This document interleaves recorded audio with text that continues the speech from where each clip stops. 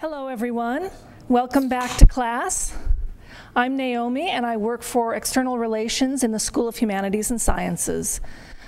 Thank you for coming to this class and back to Stanford for reunion homecoming. I'd like to ask you at this time to make sure that you've turned off your cell phones so that we don't have any interruption during the lecture. It's my pleasure to introduce our speaker for today. Michael Wara is an assistant professor of law and a research fellow at the Freeman Spogli Institute for International Studies. An expert on environmental law and policy, his research focuses on climate policy and regulation, both domestically and internationally. Michael's interests also include the interaction between climate, water, and endangered species management. His current scholarship addresses the emerging global market for greenhouse gases and mechanisms for reducing emissions, especially in context of the Kyoto Protocol. Please join me in welcoming Michael Wara.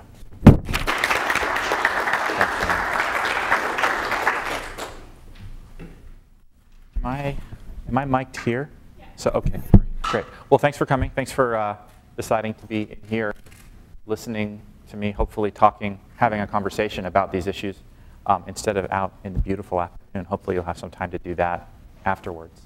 Um, I'm going to talk today about what's going on in California with respect to climate change. Uh, and you may have seen the newspaper this morning, the, the Chronicle anyway. Headline is, cap and trade is a go. So we are, yesterday, nicely timed this, this talk. Yesterday, the Air Resources Board approved, finalized the emissions trading rule uh, that will implement a cap and trade program for California in the period starting January 1, 2013 up until the end of uh, 2020. And we'll talk more about that program as, um, as, as, I talk, but it's a, we're in a very interesting phase now because, of course, now that the rule has been finalized, all parties to the rulemaking can sue. And so we're going to, I think, very quickly enter into some, some fascinating litigation around what the limits are of state action on climate change and climate change policy. Um, and that is uh, sort of the next stage in all of this, and I'm going to tell you a little bit about that as, as well. Um, I don't have a clicker. So um, just a famous quote from Justice Brandeis. Um, it's one of the happy incidents of the federal system. The single courageous state may, if its citizens so choose, serve as a laboratory and try novel social and economic experiments without risk to the rest of the country. I think it's fair to argue that that is what California is doing now. We'll see whether that final clause is really true. And that's going to be, I think, the, the, key issue in the, in the litigation that's coming without risk to the rest of the country. Can California isolate what it's doing to the state, at least in its economic effects um, and its, its regulatory effects? Or is it attempting to extraterritorially regulate the activities, especially of power companies and neighboring states? We'll see. Um, so today I'm going to talk um, about impacts in California of climate change, just to sort of motivate the discussion.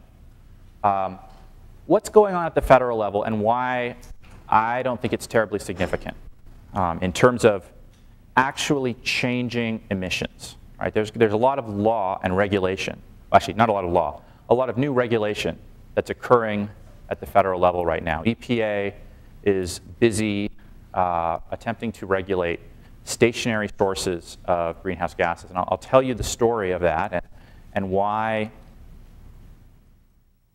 if you drill down into the detail of what's going on, the EPA activities currently, at least, that they've taken so far and that they appear to be willing to take aren't actually going to change emissions very much in this country. Um, that helps to motivate what California is doing, which is a much more aggressive approach to reducing um, emissions of gases that cause climate change. Uh, and we'll talk about that approach, how it differs from the federal approach.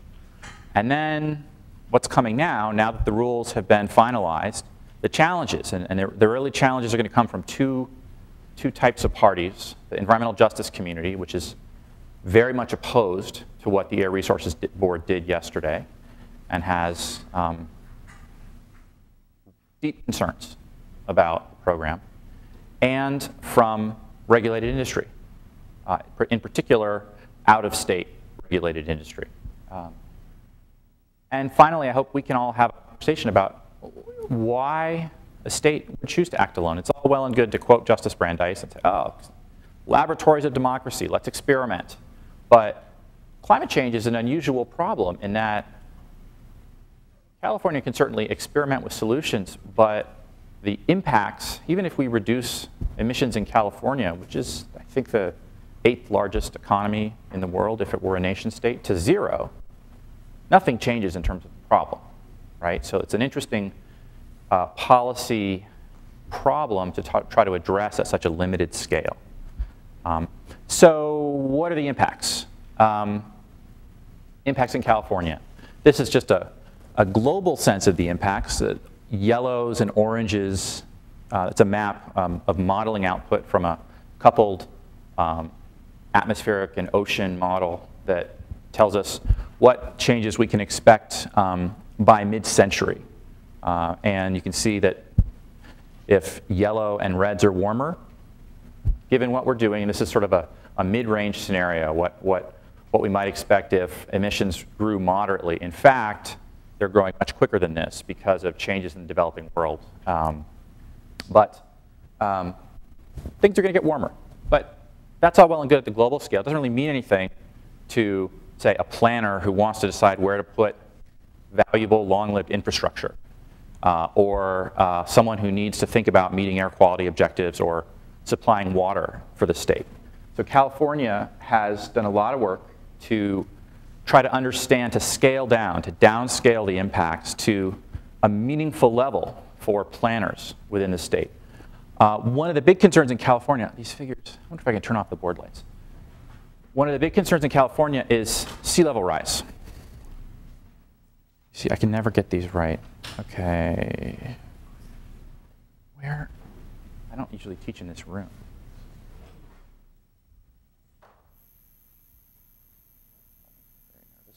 That's better. Thank you. Um, one of the big concerns is sea level rise because so many people in California choose to live next to the ocean or next to the bay. So uh, there's been a real effort, a big planning effort to try to understand, given reasonable projections, sort of mid-range projections of sea level rise, what impacts might occur. Um, and I think the best way to think about this story is uh, to, to think in terms of the 100-year storm and the annual highest tide of the year, the tide that you get in January. And the basic story is that given mid-level forecasts of sea level rise that really only include expansion of the ocean due to it getting warmer, right? Warmer things are less dense, and so the ocean gets a little bit thicker as it warms up, not due to melting of, say, Greenland or parts of Antarctica.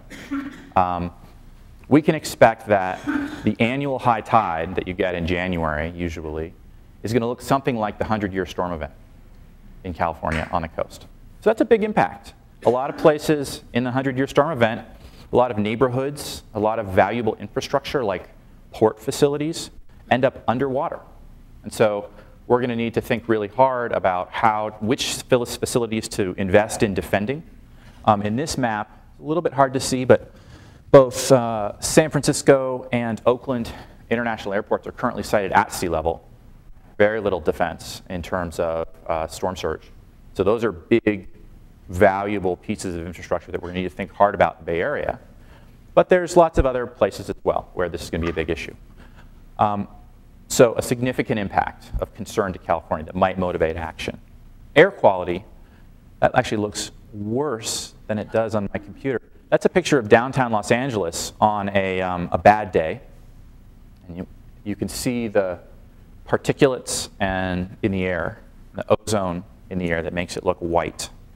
Um, air quality turns out to be a big issue um, because the traditional pollutants that cause human health effects interact with climate change in the following way. Um, it, ozone is ozone, which is a sort of the most important uh, causes of uh, respiratory distress, air, air, air pollution-related respiratory distress, is produced by the combination of a number of pollutants that are emitted into the atmosphere and then react in the presence of sunlight. That reaction happens faster when temperatures are warmer. So, as the climate warms over the next century in California, just that change in average temperatures, and especially the, the change in the hot, the extreme events, the hot, the hot summer days and, and the relative lack of cooling at night, um, is going to undermine, is, thought, is, is likely to undermine all the progress that we've made in the last 20 years in terms of reducing ozone concentrations in especially the South Coast Air Quality Management District and the Central Valley. You know, in the Central Valley, uh, something like, in, in certain regions of the Central Valley, something like a third of children go to school with inhalers because air quality is so poor. So this is a big public health issue. So California is concerned about this, and, and this is a, unique to California, right? We have the worst air quality in the country. So this is a, a particular concern. Um, water supply is another concern. The California snowpack is the state's largest reservoir. Um, it's much bigger than any dam, um, much more important in terms of shifting the uh, timing of availability of water resources into the periods of the year where there's no rain than any of the hard infrastructure we have.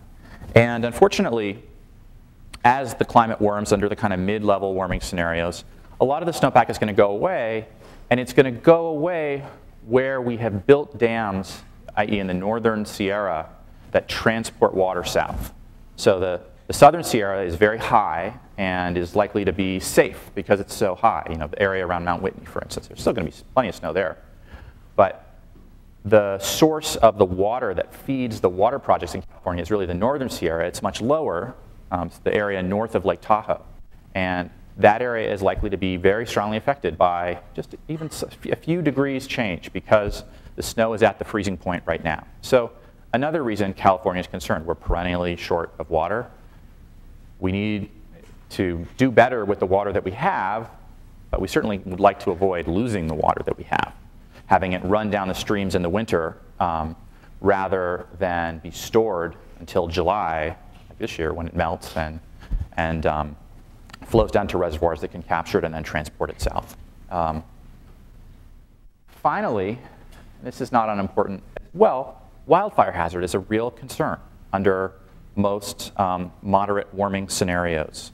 And the, there's an important interaction here between land use planning and natural hazards, of course, right? If, if, if people, people like myself, don't, I, I live at the, the urban wildland interface and am subject to wildfire risks. Um, but a lot of new development in California is the same, and we see it year in and year out where there are, are significant wildfires, people are evacuated, homes are lost, structures are lost. Occasionally, large numbers of structures are lost. That sort of thing is likely to get much more common under um, the kind of mid-level, the mid, the, the moderate warming scenarios that are projected. So these are the kinds of impacts that California, in particular, the Energy Commission has done a lot of work developing a, a, a precise understanding of for the state, and that in turn has motivated um, action on the state, at the state level. But before we get there, it's, I think it's important to talk about the federal picture because it would make sense um, given that this is at least a global, uh, at least a global problem, um, it would make sense to address it at the national level. Uh, it, it, would make sense for the US to do something about climate change and hopefully to, to successfully negotiate an international agreement that would uh, allocate responsibility for dealing with the problem amongst the community of nations. So it's important to talk about the federal picture before we think about the states and what they're doing. So this is a picture of Fran Pavley, who will, an individual who, a personality who will kind of show again in his talk. She's, she's really, I think, an example of, of, of someone who has made a tremendous difference, um, at least in California, on this issue. Without Fran's work, probably most of this talk would not um, exist. Certainly, most of the policies have been really thought up by her and her staff and pushed um, in the state legislature. So uh, everyone's heard of Massachusetts versus EPA probably, um, or maybe read about it when the case was decided. The basic, basic issue there was that California and a number of states sued the federal government to try to force the federal government to regulate greenhouse gas emissions from cars and trucks, from mobile sources under the Clean Air Act. And the Bush administration didn't want to. Um, and they developed a number of rationales for why they chose not to regulate um, greenhouse gases. Those rationales were challenged by the states, led by California, and uh, the states won. Um, this challenge was really motivated in, in, in, many respects by legislation that was passed in California, a bill called AB 1493 that set, uh, set targets um, and, and, or actually placed the burden upon the Air Resources Board of setting targets for greenhouse gas tailpipe emissions limits from cars and trucks in the state. And so California, um, as a first step, asked EPA to regulate, and then um, we'll back up, and then um, asked for license to do more, and we'll talk about that in a little bit. Um, subsequent to Massachusetts for EPA, uh, there was a lot of, of legislative activity on the Hill, an attempt to do something really comprehensive about climate change. Uh, this is um, Representatives Waxman and Markey, who co-wrote legislation that passed in the House, was a cap and trade bill with a renewable electricity standard, with uh, the first national building energy efficiency standards. Passed in the House, died in the Senate, couldn't get 60 votes. Um, a tremendous amount of energy was put into the Waxman-Markey legislation at the federal level, and when it failed, I think most people concluded, probably rightly, that comprehensive federal action um, was a non-starter, uh, or, or that new, rather new, uh, new legislation that would address greenhouse gases um, on their own terms was a non-starter, uh, at least for the foreseeable future. Uh, in response to that, states and uh, states forged ahead and asked for um, a waiver, because California in particular asked for a waiver of, um, to which California is uniquely allowed to request from requirements under the Clean Air Act to do more, to enact stricter standards than apply under the Clean Air Act. And the waiver was initially denied by the Bush administration for a number of reasons. Um, in particular, that California, in order to be granted a waiver, California has to show that it's uh, suffering from uniquely severe harm uh, due to the effects of whatever pollutant it wants to regulate more stringently. And um, the, the, Bush administration argued that climate change is a global problem. Everyone's suffering from the effects of climate change, if anyone is, and therefore there's no uniqueness to California's situation that would justify allowing it to regulate more stringently than the Clean Air Act. Um, Obama administration saw it differently, reconsidered, granted the waiver. And you can see here, this is just a comparison of um,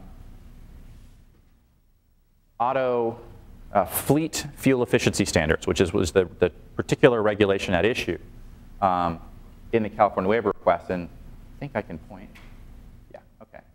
That's Japan and the EU up there, much more efficient than the United States. There's China, more efficient than the United States, Canada, South Korea here, and then this has been the US up to the present. The Bush administration proposed more stringent regulations to break our addiction to foreign oil, and California wanted to go further. That's California right there. Um, and that was the basic structure of the request. But you could see that, at least in the international context, this is nothing extreme. Um, but of course, the politics are different here, um, and the circumstances are different. So once we, the taxpayer, own the auto industry, um, the circumstances of the negotiation around these CAFE standards really changed. Um, And as a consequence of that, uh, this is a picture of Ray LaHood, who is the um, director of the, I don't know if he still is, at the time was director of Department of Transportation. Um, Lisa Jackson, EPA administrator, and President Obama announcing an agreement between the auto industry and the states and um, EPA and the National uh, Highway Transportation Safety um, Administration for tough new fuel economy standards for cars that were expressed both as a function of miles per gallon and uh, CO2 emitted, grams of CO2 emitted per mile. So essentially giving the states that have been litigating since Massachusetts versus EPA what they wanted um, and really adopting the California standard as the national approach. Um, this action, the action by EPA to regulate mobile sources, cars and trucks, has triggered a cascade of additional activities under the Clean Air Act. EPA has interpreted the act um, to mean that once it regulates a particular pollutant for one class of sources, it's obligated to regulate it for others. Um, once a pollutant is subject to regulation under the Act, then um, it must be regulated for, EPA must begin the process of, of regulating it uh, for all sources. And of course, the, the source that matters the most politically in the US is not cars and trucks, it's power sector. Um, and EPA has begun the process of regulating stationary sources, large power plants, um, large industrial sources of greenhouse gases under the Act. But, and, and there's tremendous resistance to, to this activity, right? There, if you, anyone who's been following the, the discussions in the House and the Senate with respect to EPA over the last um, several months, I'm sure has read about bills that have been introduced to strip EPA of authority to regulate greenhouse gases. They've passed the House, so far gotten nowhere in the Senate. Bills, um, and, and they do that uh, to a more or less limited extent for some period of time, forever. The bills, the, the, language varies, but there's, there's a tremendous resistance to using the existing statutory authority to regulate power plants, basically. Um, agencies are responsive to congressional pressure, right? I mean, the other thing that Congress can do, what else can Congress do to EPA? Even if they can't even if this, they fail to strip EPA of authority to regulate, what could they do more simply? Take the money away. Exactly. And that is something an agency does not want to have happen. And EPA feels obligated, given its interpretation of the law, to regulate stationary sources. But of course, they have tremendous discretion about how they do that. And the strategy that EPA has adopted is one that is, I think, you could charitably call a light touch. Um, the, the key determination that has to be made for stationary sources is something called best available control technology. When a major source, a major power plant decides to do a big remodel, uh, a modification, or a new power plant opens, under the Act, it has to install the best available control technology for each pollutant, in this case CO2 what is BACT? What is best available control technology? Well, in general, that's up to the states, subject to EPA review. And EPA has authority to stop construction in certain circumstances if it finds that the state determination of what best available control technology is um, is, is arbitrary and capricious. Um, when you drill down to that level and say, ask yourself, what are the possibilities here? What could, what could states do? What could EPA try to force states to do in terms of forcing changes at power plants? And what is actually happening? What's actually happening is marginal at best. Modest increases in the efficiency of power plants. No fundamental changes in process, no um, fundamental changes in fuel type. One of the things that many in the sort of moderate, I would, the, I don't want to call them moderate, the, well, the sort of moderate wing of the environmental community thought that EPA might do things like, for instance, require co-firing of biomass in coal-fired power plants as BACT.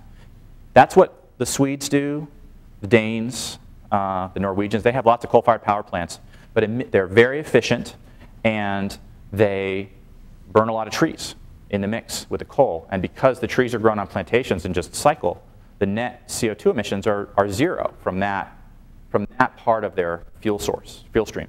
Um, EPA hasn't required that. They haven't required uh, so-called ultra supercritical boilers, which are the most efficient but more expensive boiler. For that's the kind of the key one of the key components in a coal-fired power plant. That's standard issue on most new Chinese coal-fired power plants at this point, because the Chinese are worried about just having enough coal.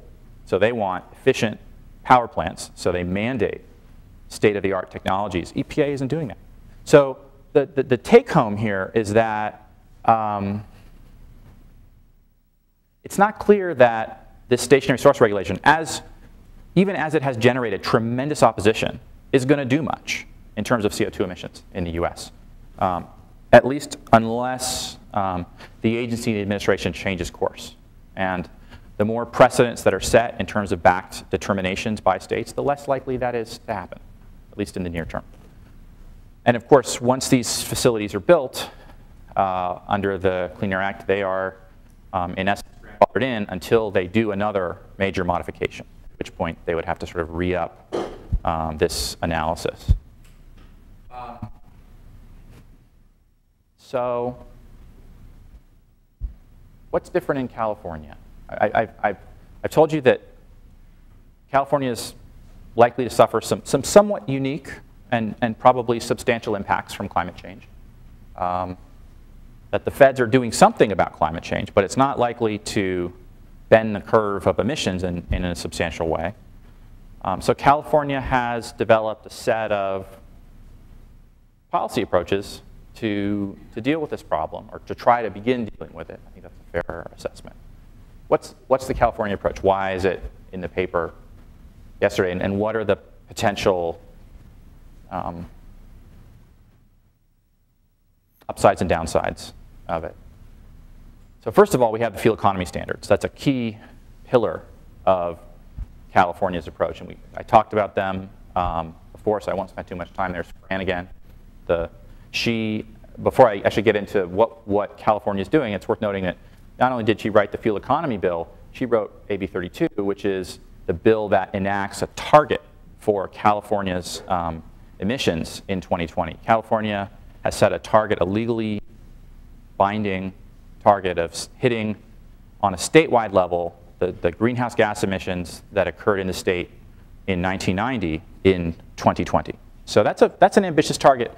It amounts to something like uh, a 25% cut in emissions below what they otherwise would have been. It's a little bit tricky to make that determination at this point because of the recession, right? Emissions fell substantially because use of electric power fell during the recession and hasn't really rebounded. So not, there's more uncertainty about where we'll be, but, but um, certainly in the case this is an ambitious target. Um, and there are four main policies that the state believes will get us there. One, is the, one are, are the fuel economy standards.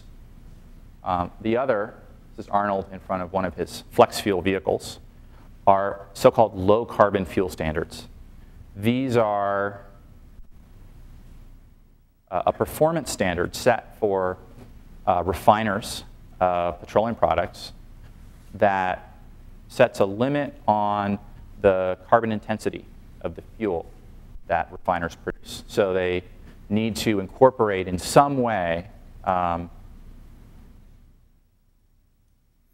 products into their uh, refineries, uh, their refinery inputs that have a lower uh, CO2 content than does fossil fuels.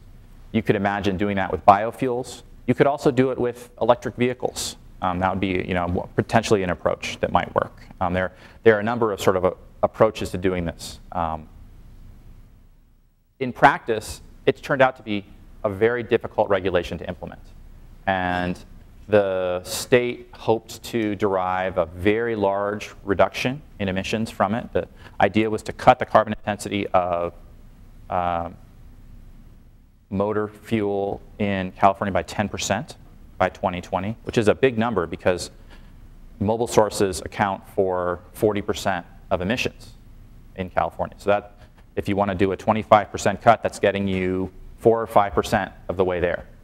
But it turns out that it's really hard to figure out what the carbon intensity of any biofuel is. There are lots of questions about land use, about how the crop that's used to make the biofuel is grown, how it's transported to the site, whether there was a forest that grew on the site where the biofuel was grown before the farm, and should, should you count in the equation the fact that you had to cut down a forest to plant a field to grow a biofuel, et cetera. And it, it, it gets to be a really contested um, discussion and, and one that doesn't have a lot of clear answers. So it's, it's not totally clear where the, the low carbon fuel standard is going, but it's, it's, it's seeming like it's unlikely to produce the level of reductions that we had hoped. Um, and then there's the renewable portfolio standard. So this is a requirement that utilities purchase a third of their electric power from renewable resources by 2020. That is ambitious. It's ambitious um, in the context of a uh, of the national um, setting where lots of states have RPSs, but no one is going for something like 33%. It's ambitious in terms of engineering and power system engineering. There are, there's a large group of people at Stanford who work across campus um, who are trying to figure out how on earth you integrate solar and wind resources at this level into the electricity grid without causing blackouts, without causing problems with um, maintenance of 60 hertz, right, frequency in the, in the grid. And the, the challenge here is that wind mostly blows at night, it's, it's out of phase with the demand for electricity. And wind and solar both are subject to very fast ramps in their delivery of power. So the wind can die quite suddenly. A cloud can pass over the sun, over this large uh, solar power plant, and cause output from the plant to drop. And the electric grid as a whole has to respond to that and balance that change, that fall in supply, with an increase. So the, there, there are real challenges to, to doing this. It's, it's thought to be possible, but hard, um, and probably um, involve changes both to how electric power is regulated within the state, um, the different, the, the, basically the, the market, the wholesale market for electric power, and um, as well as how the grid is actually structured, the engineering, the hard infrastructure in California. But that's, that's the target, and that um, should deliver, if, it, if we can deliver on the RPS, um, well, I should say there's one additional challenge, just siting stuff, right? Anyone who's worked, um, does anyone have a practice in the, in the CEQA area in the room? Okay.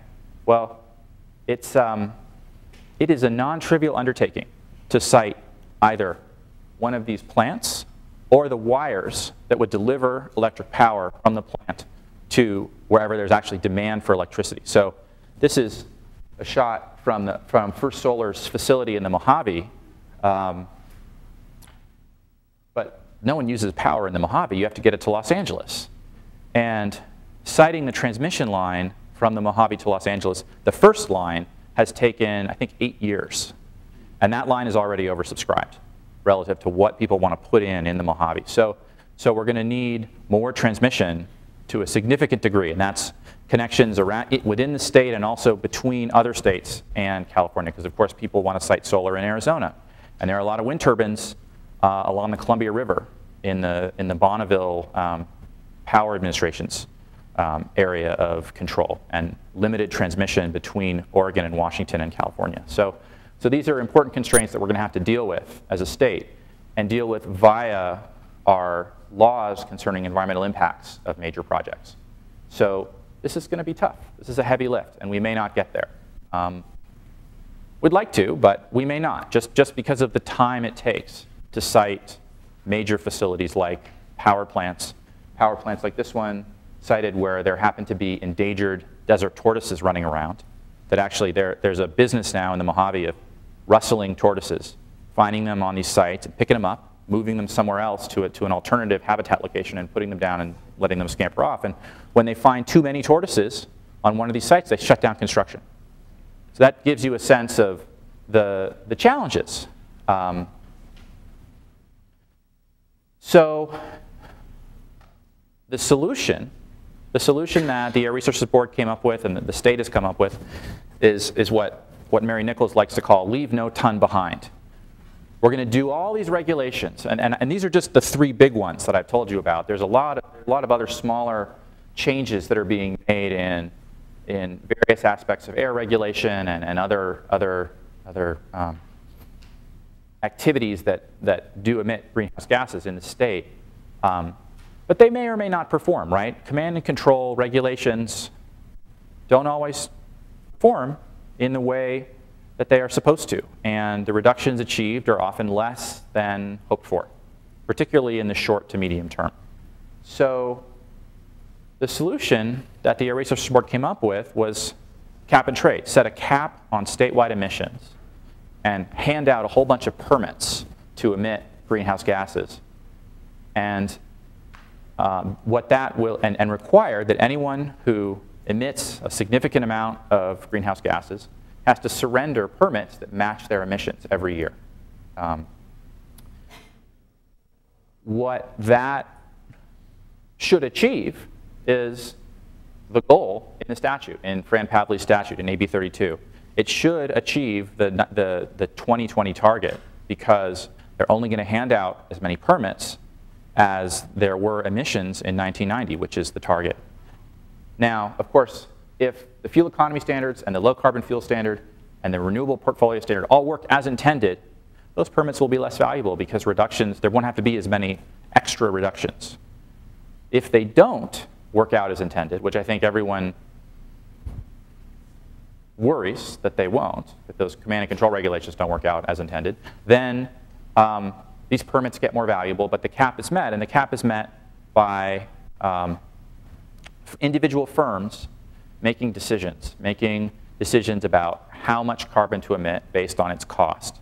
If a firm has emissions of 100, 100 tons and it can reduce its emissions to 80 tons at a relatively low cost, it might a cost critically that's below the price in the market for these permits, it'll choose to do that and sell permits into the market because the permits are really just like any other input to its production process, right? So they're just like for a coal-fired power plant, there's coal and there are emissions allowances, and you put them together and you get electric power. That's, that's the way companies start to think about these allowances. Um, and so the hope is, the hope is that California achieves its target and achieves it cost effectively. And, um, what have people heard about has, has anyone heard about concerns about cap and trade?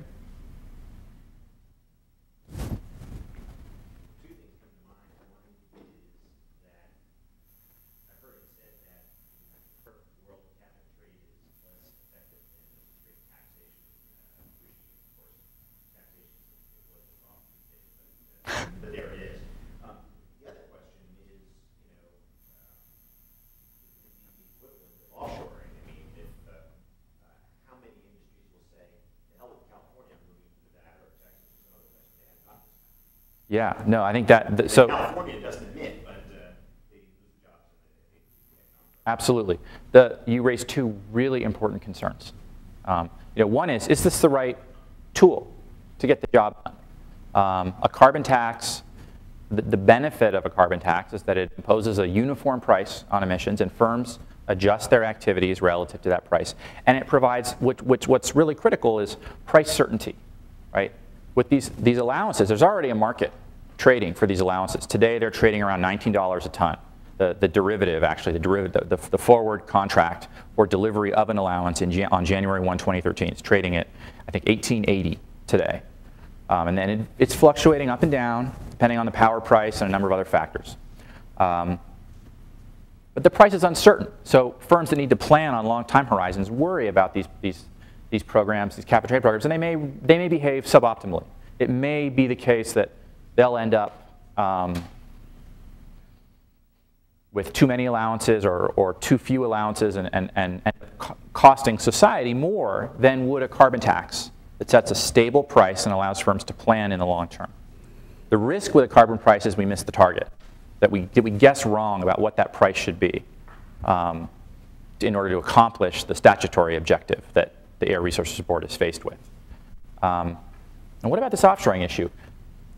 We're going to talk more about it when I get to the challenges, but the, you know, the, the, the big issue with this, the reality is California, we don't have a lot of heavy industry, right? The, the, the people who really worry about cap and trade are folks that would like to keep the auto industry and the steel industry and the aluminum industry in the United States and not in China. Um, it's a big issue at the national level. But at the state level, we still do have some trade exposed industries that are really concerned, like cement. About half our cement is produced in California, half of it comes from China. And it's produced in very efficient plants in China for export. So if we impose, and, and I'll just tell you, cement is a very carbon intensive industry. You have to use a lot of fuel to cook the clinker, and when you cook it, it off gases carbon dioxide. So you not only have the carbon dioxide from the fuel, you have it from the actual process emissions within the cement plant. That's a, that's a big problem for cement. They're very concerned. What the state has done is to give them for free a whole bunch of allowances, enough so that they can comply. Um, now they may choose to use those allowances to emit carbon dioxide and make cement, or they might sell them and decide to shut down anyway. So, so it doesn't really solve the problem. Another big concern with what I'll call leakage, movement of emissions from California to somewhere else because of incentives created by this price on carbon, comes in the electricity sector. We don't have a California grid we have what's called the Western Interconnect. And the reality is people, certain people uh, like to say, we don't have coal plants in California. And I usually say in response to that, we have coal plants in Nevada and Arizona and Utah and on the reservation that ship their power into California. California doesn't build coal plants in California. We choose to build them elsewhere. And for a variety of reasons involving air quality. I mean, it's, it's not a totally indefensible sort of NIMBY position. Um, we have real air quality issues. But because there's wholesale trading of electricity over this Western grid, it might be the case that, say, electricity generated from wind that's now delivered to users in, say, Utah, will instead go to California, and the coal-fired power in Utah will just stay in Utah. Net change in emissions, zero. On paper change in California, quite large because we're no longer consuming coal-fired power. So this is a real concern, and managing it and monitoring it is a, is a real concern of the rulemaking. I will say that you know the, the folks that are designing this program are aware of this, and, and one of the, the um, really remarkable aspects of this rulemaking and of the staff effort on the part of ARB is the learning that they've done from the European Union, where there's a large cap and trade program that's been operating for about uh, since 2005, and from the RGGI, uh, the Regional Greenhouse Gas Initiative, which is an electricity-only cap-and-trade program in 13 northeastern states, where these leakage issues also come up because the RGGI states are part of something called the PJM market, uh, which is a large electricity market in the eastern states that's much larger than just the RGGI states. And so leakage there is also an issue. So, so there are efforts being made to deal with this, but it's not clear that they'll work, especially as carbon prices go high. And the, the smart money has them going quite high in California at this point. So that's what California's doing. Um, what are the challenges, both from the folks to the left and the folks to the right? Um, the EJ concern, the environmental justice concern, is that this kind of trading is going to allow, this is a picture, so the, um, the, the, the red represents um, the percent of the population in a zip code uh, that are people of color. The green dots are toxic release inventory sites, sites that have to report their emissions of toxic substances under the TRI. And this is a picture of, people aren't familiar with the map, it's, this is LA and that big red blob in the middle is southeast Los Angeles, and all the green dots are on the red blob. And what that tells you is that poor people of color in LA suffer disproportionate impacts from toxic air pollution uh, relative to everyone else, really everyone else in the state. And these people are, have organized and are politically quite important, especially to the Democratic Party. Um, and so, and they're unhappy with cap and trade. They uh, have sued um, the state uh, over its failure to seriously consider other options, in particular a command and control option. Uh, and now that the final rule, they lost on that one, um, but now that the final rule has been approved, I think it's very likely that they're going to challenge the cap and trade regulation itself because ARB's response to them, attempt to respond to them, has been to say, we're going to monitor the problem. We're going to look at the EJ areas and the facilities that are emitting carbon dioxide in those areas and make sure that they're not buying lots of allowances and so emitting more pollution. Um, and if they are, then we'll do something about it. But that's about as far as ARB has gone. They have not gotten more specific than that. And as you might imagine, if you're someone who lives next to one of these facilities, that's not adequate, right? They want very specific answers as to what ARB will do if pollution goes up because of this program at these facilities. Now, I'll tell you that the empirical work, and I'm actually doing work related to this issue in Europe, but all the empirical work on cap and trade programs suggests that that is not a concern. That, in fact, that does not happen. It has not happened in, due to the cap and trade program that operates in this area for um, criteria pollutants. It hasn't happened in the acid rain trading program. If there's, if there's one, actually, the study in the acid rain context suggests that um, white males are the people made worse off if you, if you sort of map census um, tracts by gender and race that, that mostly people are made the same or better off under the program, but that, that low-income white males are the people that suffer the most from acid rain trading, the cap and trade program in the, in the United States. Um, so maybe a concern. Um, I think the EJ community would argue that it should be and that the law actually has language in it, that AB 32 has statutory language that, that needs, that requires ARB to create the maximum feasible reductions in criteria pollutants, not just um, do no harm. So we'll see what happens. I just go the wrong way. The other biggie, which we touched on a little bit, is interstate commerce. Um, so I talked about that Western interconnect and these large transactions of electricity that occur across state lines in the West. And in particular, California imports about a quarter of its electricity. This figure just shows the mix of imports um, to California and how they've changed through time. That thick bar there is coal. Coal coming into the state, coal, coal-fired power coming into the state, mostly to meet the needs of the LA Department of Water and Power, the citizens of Los Angeles, who benefit from very low-cost electric power because they use coal generated in Utah. So these folks are concerned that a California state program is going to undermine their business case for a very expensive coal-fired power plant they built in Utah. And they've got a point, right? All of a sudden, that coal-fired power, even if it's sold somewhere else, is going to, is to, is going to um, command a lower price because California is the big market. If you look at electricity consumption in the Western Interconnect, there's basically two big consumers, California and the tar sands. Those are the big users of electricity. Tar sands have to heat up a lot of water to cook that oil off the sand, and we, there's a lot of people in California. So um, it, is it is almost 100% certain that the firms that are going to be impacted out of state are going to challenge this regulation as extraterritorial regulation of out-of-state activities. And that, of course, is forbidden under the Dormant Commerce Clause. We'll see how that turns out. I think the, the state has gone to great lengths to try to uh, structure the regulation in such a way that they're only regulating in-state entities. But of course, regulation of those in-state entities, the first sellers of electricity in, within California, has big impacts on out-of-state entities. So that's going to be the question, is how a court reads that fact pattern. And we don't know. Um, the other interesting question is the Foreign Affairs Doctrine. under the Constitution. So this is a picture of some Amazon rainforest that's been cut down, well, some of it has, to uh, grow soybeans.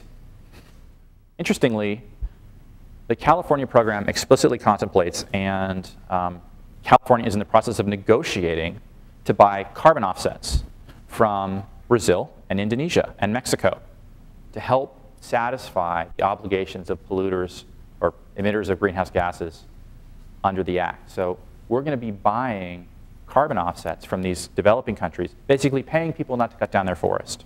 Um, now, whatever the benefits of that, whatever, the, whatever you believe about carbon offsets, it's a controversial topic for some people. Um, this looks like California cutting deals with foreign governments. And states aren't supposed to do that. Um, California has gone to great lengths to characterize what they're doing as something else. We'll see how that turns out. That's likely to be an issue as well.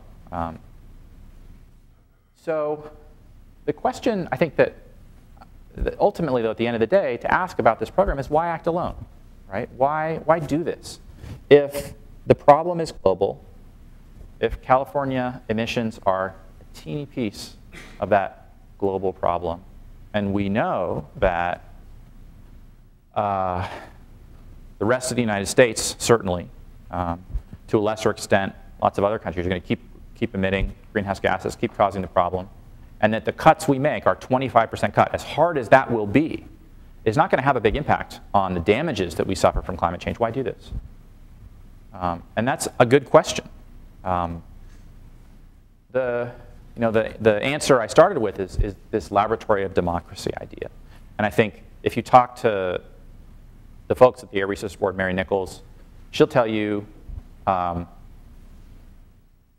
we're going to do this. We're going to have cap and trade in California. It's going to be tough cap and trade. And you know what? The sky isn't going to fall. And I can tell you, I mean, I, have had to go and, and interact with um, the, the folks who are fundamentally opposed to cap and trade in Congress, and they'll tell you that the sky will fall if you have cap and, trade, cap and tax, is what they like to call it, um, because tax is a four-letter word. Um, the, and, and, and so the hope is, I think in Sacramento, that the California cap and trade experience will create a new fact that will change the discussion. Unclear how that, um, how that fact will play. As, as I mentioned, California is a different state than lots of the rest of the country. We don't have a lot of coal. We don't have a lot of heavy industry. And to the extent that you do have those things, you might feel differently about the California success story if there is a success. Um, another reason that's much more parochial is that we have the clean tech industry. And I think this should not be um, underestimated as a motivation, right? The clean tech industry outspent big oil on the proposition to kill this whole project, two to one. Tom Steyer and George Shultz were able to effectively lobby the state that this, this was important and we should do this. And I think they did that for reasons that have to do with you know, the, what, what they believe to be the long-term economic health of the state and the future, long-term future of the state. But, but, you know, Tom Steyer also has skin in the game.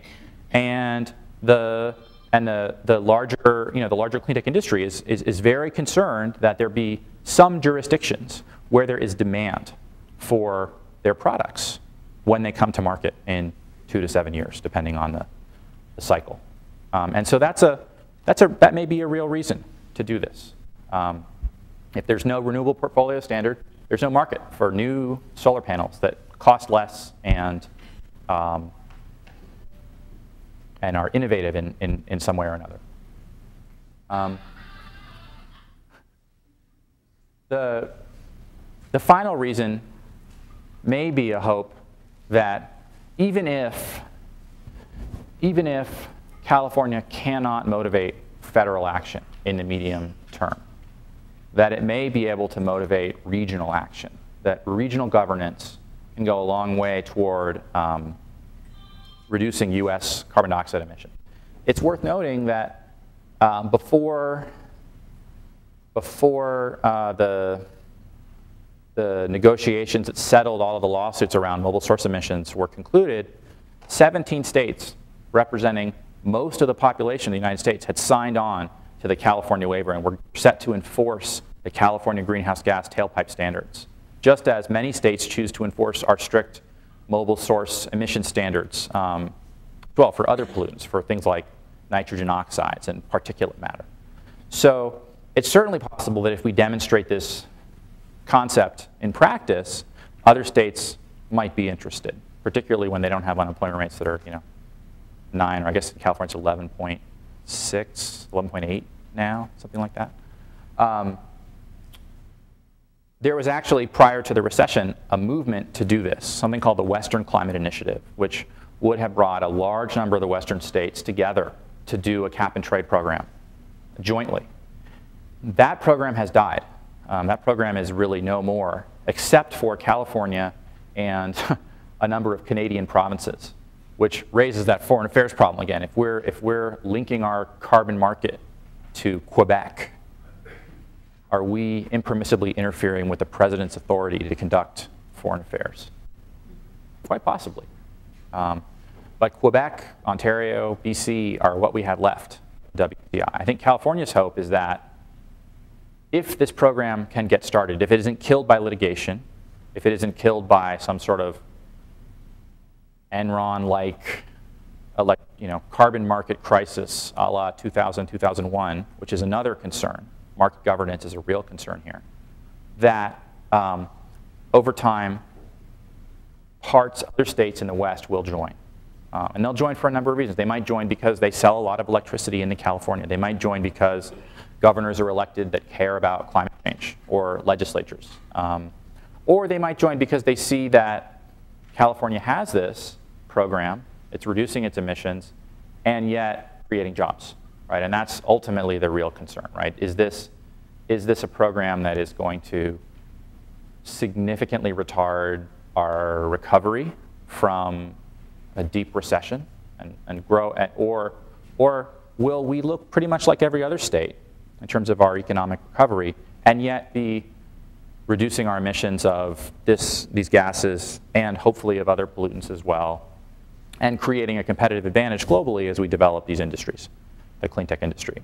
So I think the basic, my basic take home is we don't know at this point. This is a real experiment, and it's going to be very interesting to watch over the next couple of years as it plays out, if it's allowed to play out. So um, thanks for coming, and um, have a great weekend.